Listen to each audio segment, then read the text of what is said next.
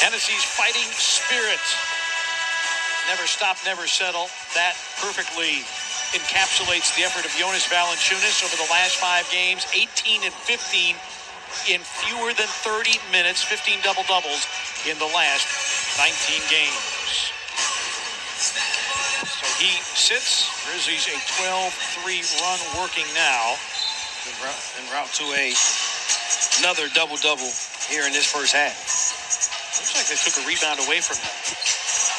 He was stealing rebounds earlier. They took a rebound from Melton in the last game.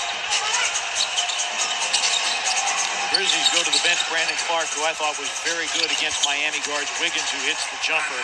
Let's reset the lineups because there have been changes. Damion Lee, Brad Wanamaker, Kent Bazemore in for the Warriors. Oubre, Looney, and Poole come out.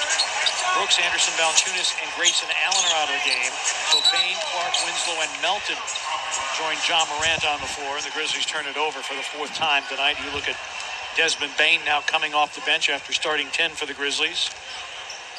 And uh, again, checking social media, Brevin, we are big in the United Kingdom.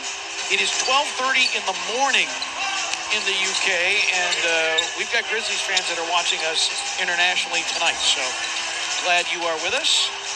International flavor is a little international flavor in the Canadian fashion. Gets to the basket and scores there in Andrew Wiggins. We have four Canadians playing into tonight's game. Long two Melton comes up short. Draymond Green, a look ahead to Wanamaker that's too far. Mychal Mulder uh, is from Toronto. And of course, we know Wiggins is from Canada as well, along with Dillon Brooks and Brandon Clarke. Talk about the, the influence. You talked, we talked about a couple games ago with Vince Carter and what he was able to bring to Canadian fans. And the, the game of basketball has just exploded in Canada's ties. Misses that runner there.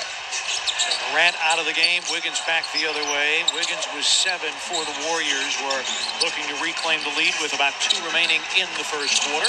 Draymond Green, great basket cut and a finish, and the Grizzlies will call for time as Kent Bazemore on a rim run finishes, and Golden State has.